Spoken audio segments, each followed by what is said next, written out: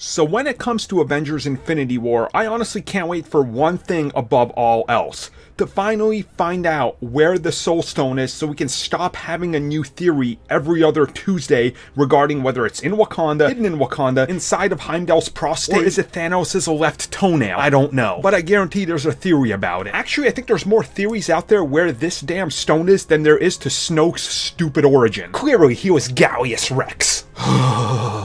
Anyways, let's talk about Doctor Strange. So I think it stands to reason that Doctor Strange is probably the most powerful Marvel character right now. Uh, obviously, he has a gem right around his neck, the Time Stone, so that's pretty important. And recently, we just found out he's kind of the first one to realize that the Soul Stone is going to be way more important than anything we previously imagined. Well, the Avengers Infinity War Prelude comic actually gives us our first hint at the Soul Stone. And in the pages it says, and I quote, Little is known about the sixth and final stone, the Soul Stone. But if what is known turns out to be true, it could prove to be the biggest threat of them all. So now wait a second, you're telling me this stone is going to be more important and more powerful than something that can change time? Than something that can wipe out an entire planet just by touching the surface? Alright, color me interested. Now of course, in the comics, the Soul Stone can control souls, if that wasn't self-explanatory enough, and place them in pocket dimensions. So there you go. Uh,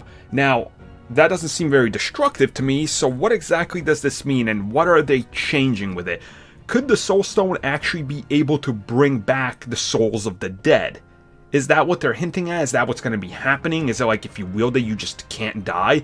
Because honestly, that would be pretty frightening because if Thanos is wielding it, and then you kill him, and then he's not dead. Oh boy, that's uh, that's a problem. But realistically, here's my theory. The Soul Stone is actually part, follow along here, it's part of Snoke's ultimate plan to raise Darth Plagueis. But no, seriously, I have no idea where it is. That's why I don't make theory videos on it, because it's stupid, because it's probably somewhere we don't expect it at all. It's not Wakanda, it's not Heimdall, so where is it?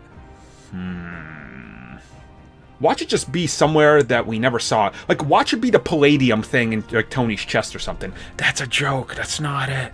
Where do you guys think it is?